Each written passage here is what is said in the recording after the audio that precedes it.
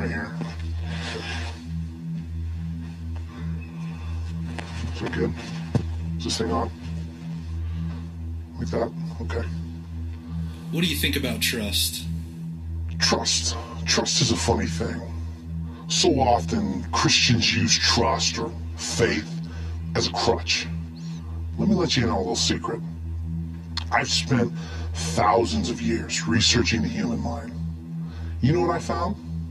It's weak, easily manipulated. I think trust is for lazy people. If you want something, you have to make it happen.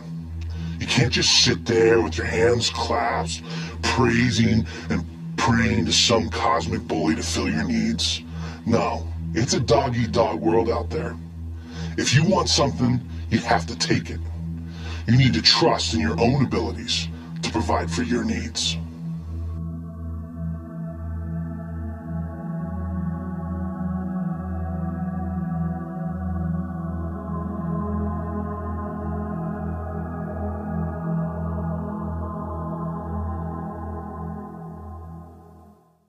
Hey, good morning.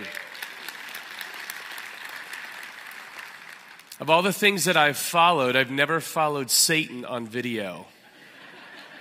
It's a little bit disturbing. What do you do next? It's kind of where I'm at. Happened last night, happened again this morning. I don't know what to say.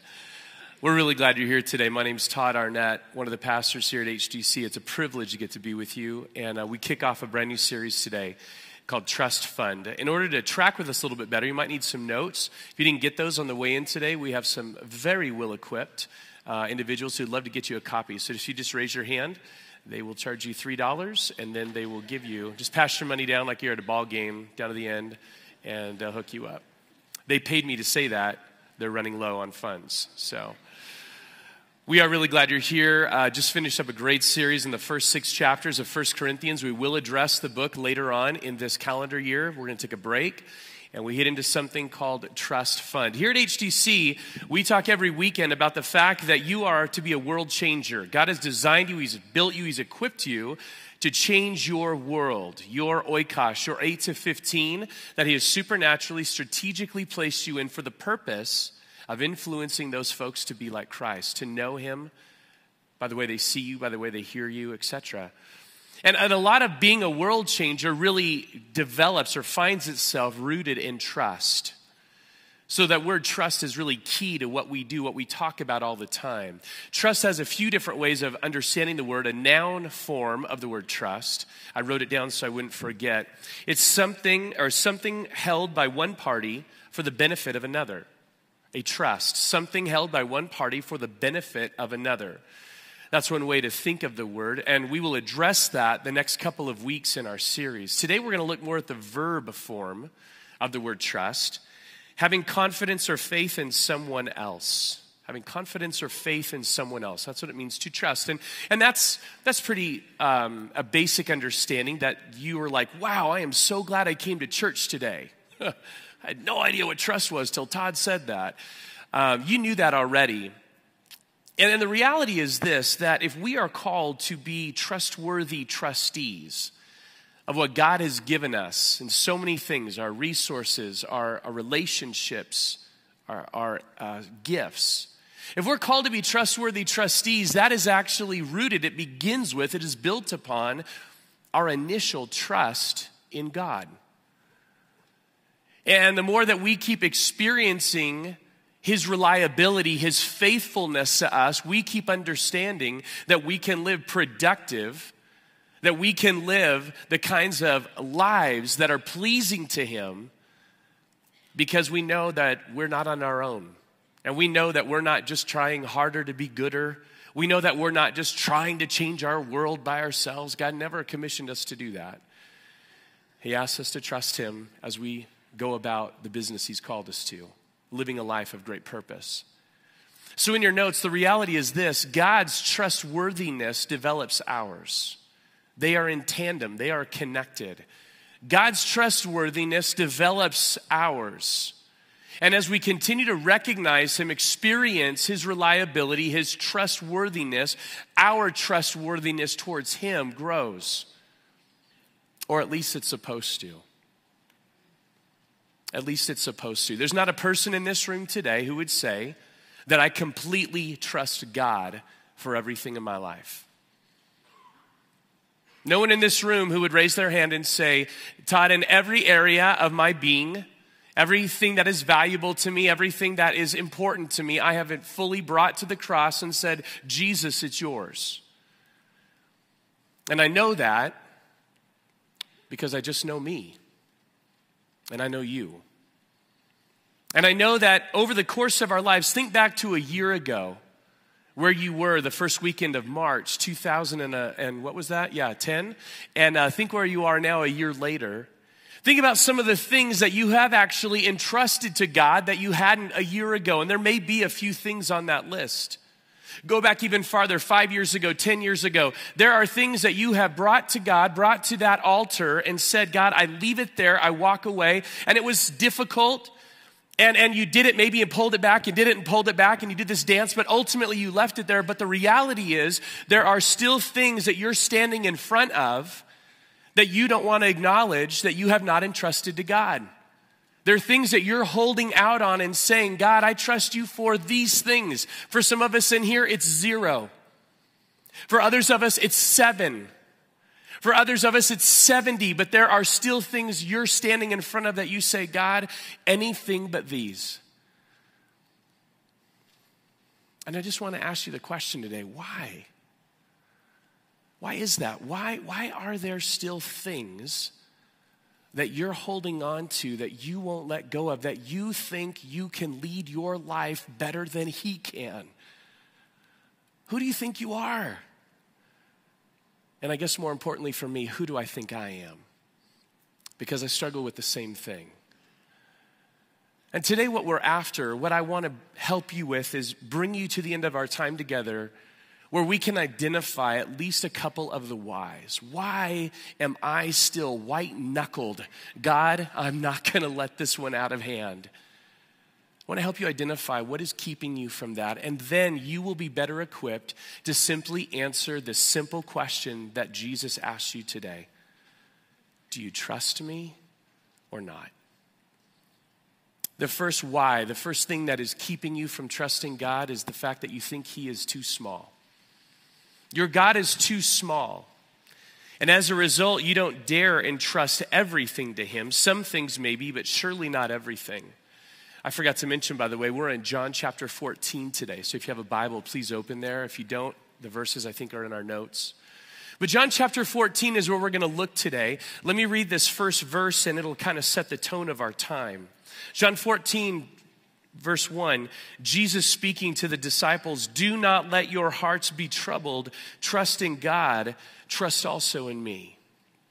Do not let your hearts be troubled. Trust in God, trust also in me. Those words are not in a vacuum. John chapter 14 is actually couched in a bigger kind of context. John chapters 13 through 17 are what theologians call the upper room discourse.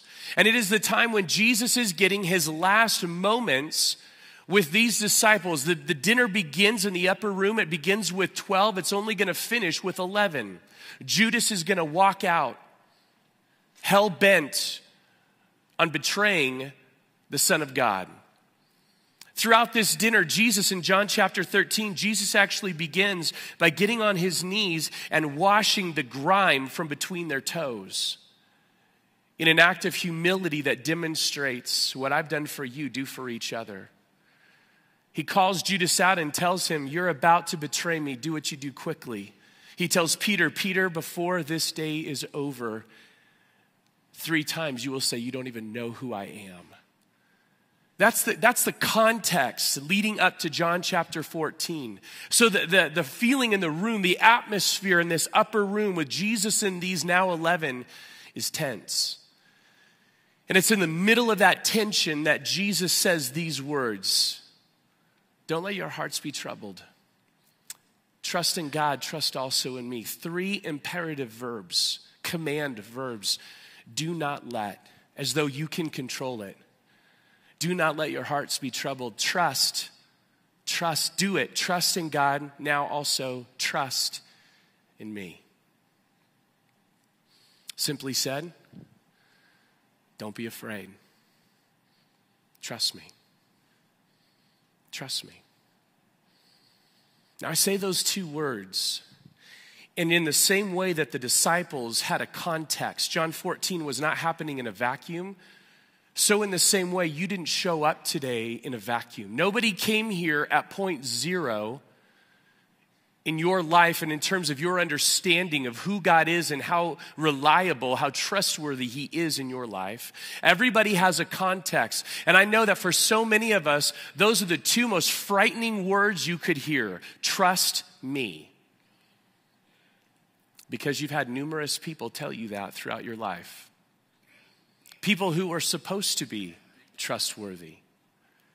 People who told you you can believe me. You can count on me. I'll be there. Trust me. Be careful today as we talk not to confuse Jesus with those people. We'll talk more about that in a minute. But make no mistake, that's what Jesus is telling the disciples. It's also what he's telling you and me today. Don't be afraid. Trust me. Now, see, the disciples hadn't really bought all the way in yet, and, and their actions are going to demonstrate that. See, they believed that Jesus was Messiah, whatever that meant right? He, this Messiah had been prophesied. All their forefathers had been telling them for ages this, this unique individual from God, unlike anyone else, is coming. Look for him. And they found him. And Jesus continued to say, You've been looking, and I am he. Look no further. But, but, but there's something different about Jesus being an amazing miracle worker, something different about him being an amazing teacher, and him being God. That connect the dot hadn't happened yet. And the reason I know that just minutes, minutes after he tells them, don't be afraid, trust me, when a group of centurions come into a garden where Jesus is praying, they will all scatter to the winds. Jesus went to the cross absolutely alone. Nobody, nobody stood up for him or with him. So these 11 are going to scatter to the winds, and these words, don't be afraid, trust me, they're going to forget. And the reason I know that they hadn't bought in that he was completely who he said he was is because later on they do. You see, Jesus gets arrested, goes through a kangaroo court, ends up on a tree their vision, their hope, their dream is dying on a wooden tree just hours after this conversation. But it's three days later. Three days later, when some women who went to Jesus' tomb come running back out of breath and tell them, You're not, you're not going to believe this. We talked to him and he's alive. The resurrection completely changed everything for the disciples. And the reason I know that, this thing we celebrate in a few weeks at Easter, is because the book of Acts records 11 incredibly courageous, incredibly bold, incredibly trustworthy men and a group of men and women who went and changed the world because they knew they were relying upon God not just some amazing person. That's when their trust really took place. My simple question to us is what's your excuse? What is your excuse? The disciples hadn't seen Jesus die on a cross and raise the third day, but you and I live on this side of the resurrection. We know the story, we know what happens. And yet we still don't believe that Jesus is this God that he says he is. We still won't say, God, I've got these things behind me that I don't know if you're big enough for. I don't know if you can handle. I don't know if I could even give them away. And part of the reason is, is that you simply don't believe that Jesus is who he claimed to be. And therefore, your God is too small. I brought out my friend Mike and my daughter Aaliyah today. Aaliyah turned 11 a week ago. Today, actually. Did you know that? Just a week ago. Yeah, it's crazy. Um, Aaliyah's 11, and uh, Mike is huge. Okay? And I brought them out today because I wanted you to see this with your eyes, what was kind of gearing in my mind all along. And it's simply this that as long as your God is this size, you are going to put very little on his shoulders. You're going to trust him with very little. And, and there's a reality of which it's not like there's no God. The space isn't vacant. There is a God. He's just super small. And he does good things and he helps you out when he can, but he's not able to shoulder you. You go through difficulties and crisis and you go to fall back. Are you kidding me? I'm going to flatten her if I do that today. There's no way I'm going to entrust my well being to this size of a God. But, it, but if your God is this size, if your God is more like the God who he says he is, then you go through difficult times, you go through crisis, you go through even just daily stuff that you go, God, I don't know how to do this. And all of a sudden, when you lean back, okay, look at that. Thank you so much, Mike. But, but I, can I tell you this? There wasn't a single ounce of fear when I fell right now. And if you stood up here with me, you would do the same. Duh. Okay, he's, he's trustworthy. And, and it's not just because even Mike's big, because you know what a lot of big guys could do? Step aside just a sec, babe. They could stand here and go, that Todd guy really drives me nuts. Okay, and that would be an ugly mess right now on the floor. But I know Mike, and I know Mike not only for his size, but I know his heart. And I know that when I asked him, Mike, would you stand up on stage and be an, uh, a visual illustration of the fact that your God is big and you can trust him? That I knew Mike could not only could catch me, but that he would. See, what do you know? What do you know of this Jesus? And the things that you know or don't know of him, they're keeping you. They're keeping you from being able to lean into him because in this illustration, as, as big as Mike is, as strong as he is, he doesn't even compare to the size that God really is and what he wants you to trust him for. This is the best I could do. But I'm telling you, as long as you keep God this size, you will not lean back on him because you're a fool if you were. If God was really only this strong, only this big, then you're the fool who leans back into that. God's that big. And the more you get to know him, you know what's interesting? The Bible that I have is the same one that you have. It's the same one that every pastor on the staff has. It's the same one that every small group leader has.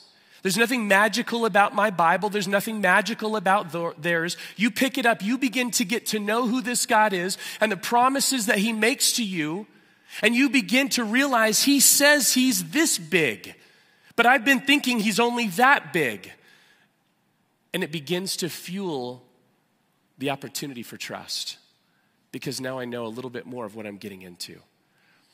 Would you thank Mike and Aaliyah today? Thanks, you guys.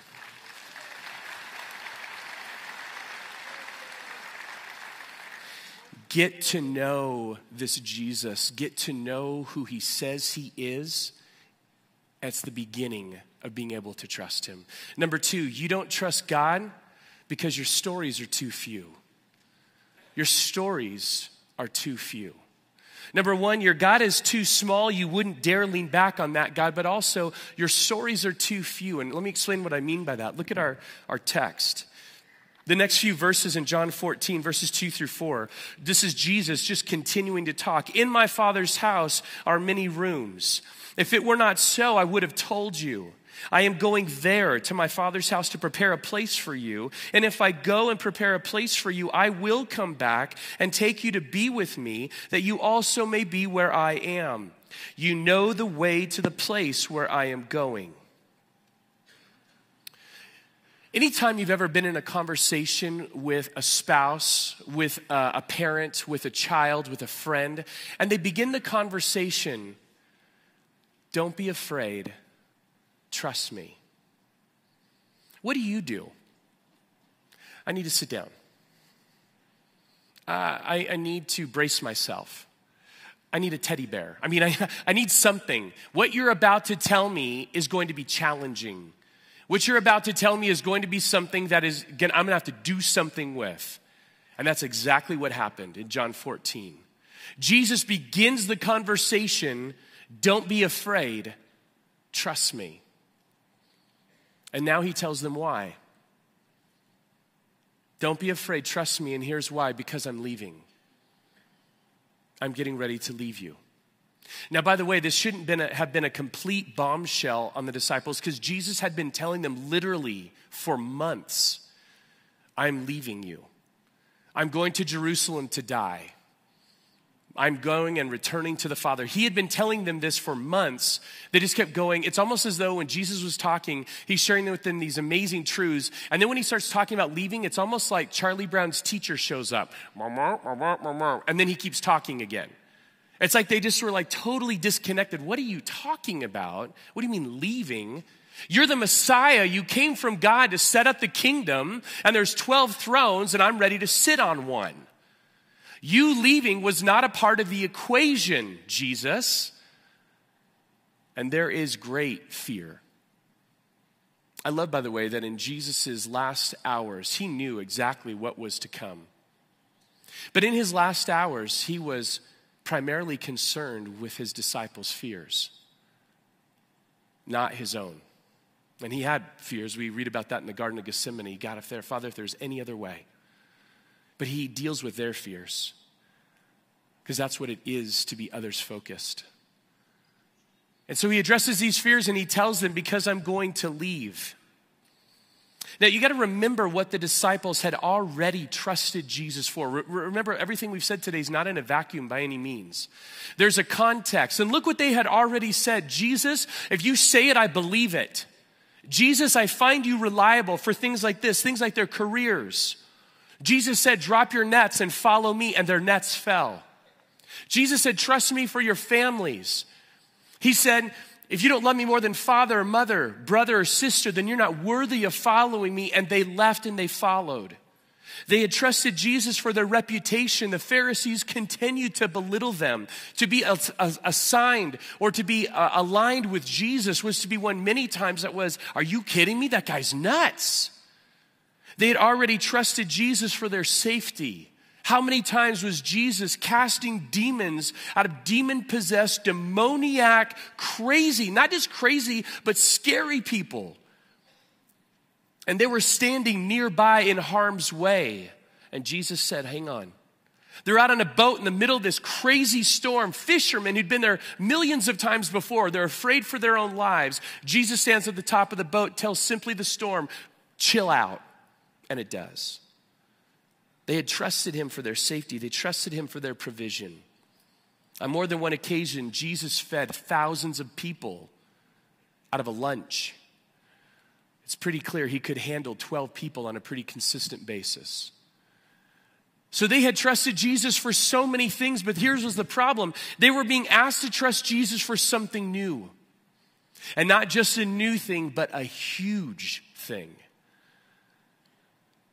Don't be afraid. Trust me, I'm leaving. Jesus, that's so big. You're here today and you have something or some things that are big. They're the things that you keep hiding behind your back. And for me, what helps me is that the way I identify those, I have this in your notes. The way I identify those, how do I identify the thing or things that I don't want to entrust to God, that I'm still holding on to. It's simply, what would you fill in this blank? Lord, please don't take away from me or ask me to. Lord, please don't take my family away from me. Lord, please don't take my spouse away from me. Lord, please don't take my career away from me. Lord, please don't take my health away from me. Lord, please don't take fill in the blank, away from me. Lord, please don't ask me to. To talk to that person who has wronged me. To talk to that person I need to confront. To let go of the things I'm finding security in. Don't ask me to move to the high desert. Too late. too late. One that you've all let go of already. Praise God. You can feel good about yourselves. You've at least trusted God for one thing. That's good. What, what you fill in that blank, or the things you fill in that blank, are the things that you're holding behind you that you say, Jesus can have all this. I trust you for those, but I don't want to talk about these. And what I want you to do is, I share with you one of mine. I want you to actually, those blanks are things obviously I can't fill in for you. But I want you to take a moment and just a quiet second. I want you to fill in the blank for you. This is how it happened to me. I was up speaking at a camp years ago and um, was really encouraged and challenged by a, a speaker who was there at the same time. who had been a missionary uh, with New Tribes Missions in Papua New Guinea for uh, 20 years, had gone in with his family. Just him and his wife, I believe, initially had three, four children during that time.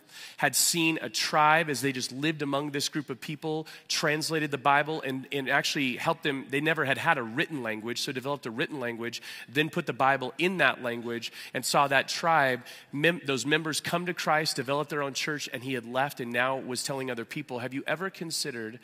The way that God might want to use your life to a group of people who have no inkling as to who Jesus is. And we're sitting there talking. His name was Brad, and Brad and I are chatting. And I just talked to Brad one time. I said, Brad, how did you do? How did, how did you go into a jungle and, and take your kids? How, how did you do that? Because for me, the only time my kids see crocodiles is when we're on the jungle cruise at Disneyland.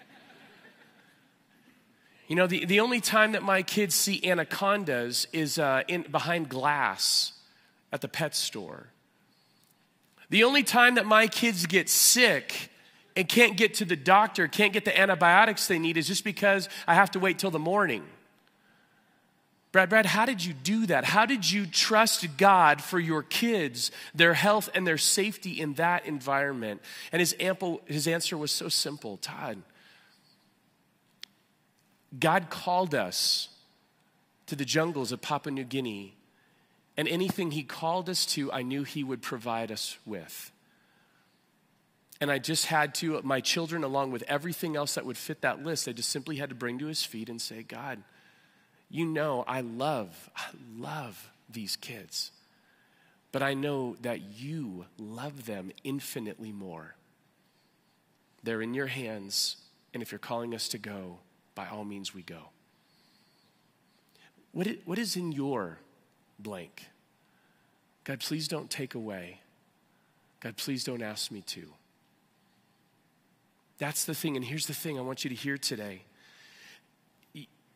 Some of us don't even want to write it down. Because to write it down is both to acknowledge it as well as to say, now I got to deal with this. But can I tell you something? The reason it was so easy to come to your mind just like this is because it's the button that God keeps pushing in your life. You see, you know that, right? You know that God, because He is a perfect Heavenly Father and He has your best interests in mind, that He will not allow you to sit there and cuddle up next to this thing you won't let go that is ruining your life. It's not even a bad thing. I'm not talking about some habitual sin. I'm talking about a good thing. I'm talking about people. But he will not let you cuddle up to those and hold on tight because he knows they make horrible gods. They can never be what he is supposed to be in your life. And he will continue to bring things into your life to pry open your hands so that you let them go and you trust him. Because trusting God is your best interest. He is the only one that you can fully lean into. You see, the disciples that night, what they should have done when Jesus said, Don't be afraid, trust me, I'm leaving. What should have come to mind were all the examples of the times that they had experienced Jesus' amazing reliability, his amazing trustworthiness. Think of all the times he showed up in God sized ways. Why is he going to stop now? And what they should have done is remember their altars. In the Old Testament, what people would do is they would pile up a stack of rocks called an altar at unique times when God showed up in God sized ways. Abraham did it, Isaac did it, Jacob did it, Moses did it, Joshua did it. The kings of Israel and Judah did it. They pile up rocks and they give them names and they would say, God is my provision. God is my stronghold. God showed up and demonstrated himself so strong here today. And they did it as a reminder to themselves and to future generations that when you come into difficult times, you can remember, you can rely upon the God who showed up here because he's consistent and he doesn't change. He is trustworthy, and the stack of rocks tells me so. Simple question for you today Do you have any altars? Do you have any stacks of rocks in your life? Some may honestly answer today and say, You know, Todd, I really don't. I've never seen God show up in God sized ways. And I want to say, if that's your answer today, I'm not critical of it. I, it could be a very honest answer. But what I, what I do want to say is this if you don't have a stack of rocks where you have seen God demonstrate his trustworthiness to you in ways that just blew your mind, can I simply tell you? It's because you have more than likely simply added him to the equation of your life. You've got a pie and you've given him a sliver and said, Jesus, you can fit this amount. I'll show up to church every other weekend if it works for me.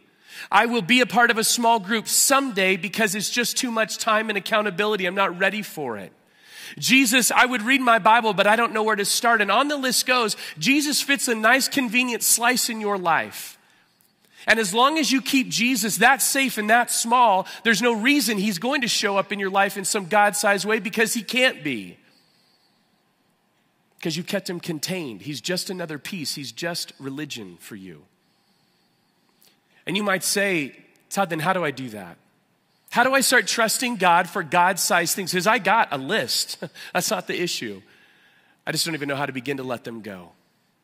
Well, it might sound a little bit like what it feels like at a job interview sometimes. You go to the interview and, and you're there and you say, I'd like to get a job. Person interviewing you looks over your resume, you need more experience. And you say back, Well, how, how do I get more experience? Guy says, You need a job. You go like, Exactly. Well, so how do you do this? How do you trust God? In your notes, you surrender. You surrender. You, you trust God by surrendering those things you're holding behind your back that you are white knuckled and not letting go of. You, you come from behind and you begin to pry your fingers back and you hold them open handedly and you say, God, I give this to you. It is no small task. Not once have you heard me say that. But you embrace the words that Jesus said don't be afraid, trust me. Now, some would say, okay, Todd, that's really hard to do. I get it. So, so how do I surrender? How do I do that? Simply uh, trust God. They are cyclically connected. I, I can't trust God unless I surrender. I won't be able to surrender if I really am not trusting God. They are really one and the same. And those of you that are here today that you have stacks of rocks, you, you have piles of rocks in your life where you look back, and if you did, I, here's what I want you to do. But before you go to bed tonight, before you go to bed, I want you to take some time and I want you to identify some of those stacks of rocks, some of those altars in your life. And what's going to happen is you're here today, you're going to be able to look backwards and you're going to see this path this crazy path of God's goodness and faithfulness, reliability, God sized things He shows up, and you're going to see this dotted path working backwards where you go, God, I can't believe these things you have done up until now. How foolish of me to think you won't keep doing them in the current thing I'm in that I can't seem to let go of. Let it be just a huge encouragement to you today, a reminder of the stacks of rocks you have experienced. Name them, like the Israelites did. Name them. And here's the win it's not just a reminder for your sake, it's a reminder for your kids. I hope you let your kids into some of that business. Maybe not all. Maybe not all of it's age appropriate. Maybe not all of it's good timing. But I hope you let your kids into the business of the time that God brought a loan modification just in the nick of time. that you remind them about the time that your marriage was about ready to be done. You remind them of the time that God brought healing to your life or healing to someone that they're connected to, and you saw this amazing turn of events. This time that you were ready to give up and throw it all away. And God brought this last second reminder to you and said, Don't be afraid. Trust me. Share those stories with your kids. Share those stories with your oikos.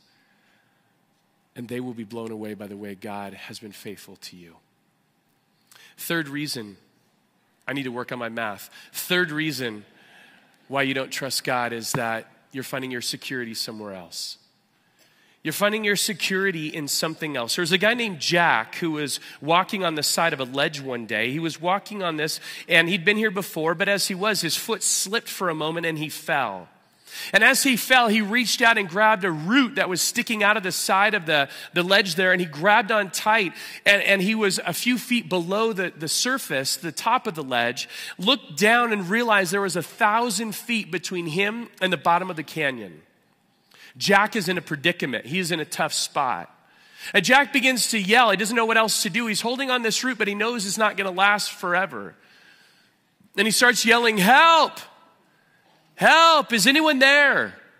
Throw down a rope, do something, help. He's just yelling, help. And all of a sudden he hears this, Jack, I'm here. Who? Who, who is that? Where are you? And the voice says back, It's Jesus, Jack. Jesus, you're, you're here. That's so great. Jesus, I will do anything. I will start going to church every weekend. I'll join a small group. I'll do anything you ask. Please get me out of this situation. Jesus, save me. And Jesus says, Hey, Jack, hold off on the promises. Let's, let's get you out of this situation. And he says, Jack, what you need to do is you need to listen to me. Do, do what I tell you to do. And Jack says, Anything. I'll do anything you tell me to do, Jesus. Jesus says, Good. Jack, now let go of the, let go of the branch, let go of the root. Huh? Yeah, let go of the root. Just trust me, Jack, let go of the root. And there's a, there's a long pause. And the next words out of Jack's mouth are so telling Help! Help! Is there anyone else up there? And isn't that the way it is? You've got a root, you've got a branch that you are holding on to, you're finding security in. But it is just a matter of time. Gravity will take its course. And when God shows up, that's what He always begins with let go. Let go of that. That's weak. It's inept. It's not going to work. And instead, hold on to me. And I can't do both in your notes, this is the problem. This is the tension that we find ourselves. We want something that you can control apart from being dependent upon God. That, that's this tension. That's, the, that's what is the motivation inside of you. God, I want, if I'm honest with myself, I want something I can manage, something I can see, something in a sense that I'm in charge of, rather than having to be that kind of dependent upon you. Thomas felt the same way and the same uh, passage we're in, John 14, the next two verses. Listen to what he says. Thomas said to him, Lord, we don't know where you're going. Remember Jesus' last words? You know where I'm going to. We don't know where you're going, so how can we know the way? Jesus answered, I am the way, the truth, and the life. No one comes to the Father except through me. See, Thomas's words were, Jesus, um, how, how can we know the way to where you're going when you haven't told us the destination, the location. Duh. you know, give me a good map, Jesus. Give me a good map and I can figure out where it is that you're going to and, and I'll, I'll get there. Jesus says, uh, Thomas, I am the map. I am the map. I always have been. It has always been through me that you are ever going to get home to the Father. And can I put that out to you for a minute today? Isn't that what we all want? Don't we all want to get home to the Father? Don't we all want to take these things that are so burdensome to us, things that we are so stressed out over, things we are so afraid of, and drop them off, at our, sh- off our shoulders, walk through the threshold, and walk into this embrace of a heavenly Father who says, Welcome home. That's what we all want, and I have great news for you. That is the gospel. That is exactly what Jesus came to do. That is exactly what Jesus is trying to tell his disciples. Don't be afraid. Trust me. I'm leaving and I'm going to make it good. I'm going to provide a way back to the Father. What you really, really want is what I came to do. There's a loving God who looked into a world that was completely broken, completely on rails for punishment, destruction, and an eternity apart from Him. And it's to that world He sent His one and only Son to take on flesh, become one of us, die for us, and then kick death's butt. I never have said that in church before. It was so cool. On Easter Sunday, expressing once and for all, what can't I do? You don't understand who I am. That's the gospel. And yet, these things that you're holding on to that you keep behind your back that you don't want God to touch, here's the reality you are finding a degree of security by holding on to them yourself. And I'm going to tell you that one thing at a time, those are going to fail you. One thing at a time, they're going to fall away, and you're going to realize I can't put my trust in that, it's inept. I can't put my hope in that, it fails.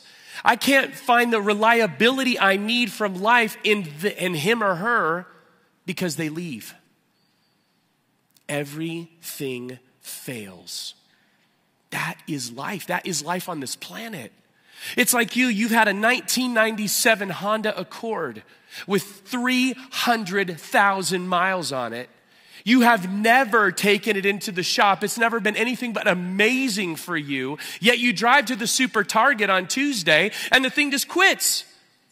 It quits on the side of the road and you get out and you are completely furious. How dare you kicking the tires? What a piece of junk. You know, you're just flipping out and people are like, what's wrong? My car broke down. Oh, okay. So that's really disturbing to you. Um, why? It was never supposed to break. What, what dealer did you talk to when you bought that car? They all fail. And God, in His loving way, will continue to bring every reminder to you that they fail. Nothing here is sound. But there is a sound God. And He simply says to you today Do you trust me or not? Let me pray. Father, we come to you. And you have brought to our attention today, God, these things that we are holding behind our back, the things that we say, please don't ask me to do. Please don't take away. God, we acknowledge those, we recognize them. And God, would you give us the grace? Would you give us the strength? Would you take away our fear and help us to bring them from behind our back, release our fingers, and lay them at your feet? That we would trust you. You may be here today, and, and that stack of things behind your back, really, there's one huge thing, and it's you. It's your life, your agenda, your plan, your future. It's there, and, and that has been the thing you've been holding out on. You have no stacks of rocks in your life because you've not surrendered your life to God. And the great news is, like we said a minute ago, before you even leave this place today, you can do that. That's the gospel. A is admit that you're a sinner. Admit the reality that you cannot make your life work. Admit the reality that you have lived a life in defiance, living your own agenda against a God who has a wonderful design and purpose for you. B, believe. Believe that this Jesus we've talked about, when he hung on a cross, his blood spilt, his body broken, it paid for you. And C is choose. It's not just things that you say with your mouth, it's not just something you believe in your head. It's a volitional choice. Jesus, I lay me down at your feet, and you can have everything of me. Please forgive me from my sin and myself. You can pray that prayer before you even leave this place today, and you will be completely and forever changed. Father, you are good and your love endures forever. Thank you for loving us so profoundly, extravagantly in Jesus Christ. Amen.